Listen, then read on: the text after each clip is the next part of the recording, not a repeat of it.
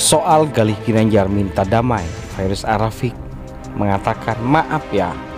Dilansir mata-mata.com.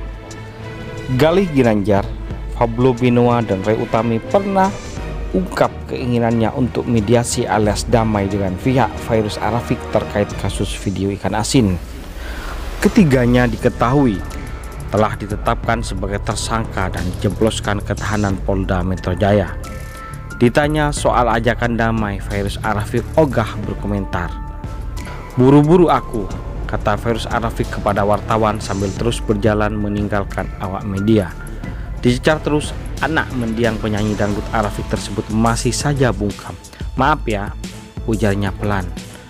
Saudara Virus Arafik Rani lewat Instagram story-nya menyatakan secara tegas tak akan mencabut laporan di polisi. Insya Allah nggak ada cabut mencabut laporan.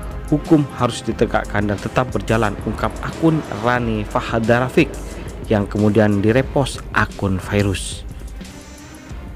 Keluarga Virus Arafik juga sepertinya tak peduli dengan omongan pihak lain terkait laporan mereka ke polisi. Ini karena mereka punya alasan khusus terkait laporan virus Arafik ke polisi yang menjerat Galih Ginanjar, Fablo Benua, dan Ray Utami. Terserah mereka mau ngomong apa, kami tetap menegakkan keadilan, terkhusus keadilan untuk harga diri dan kehormatan perempuan yang telah dirampas tegas Rani. Seperti diketahui, Galih Ginanjar, Fablo Binoa, dan Re Utami sudah ditahan pihak polisi dan berstatus tersangka atas vlog ikan asin.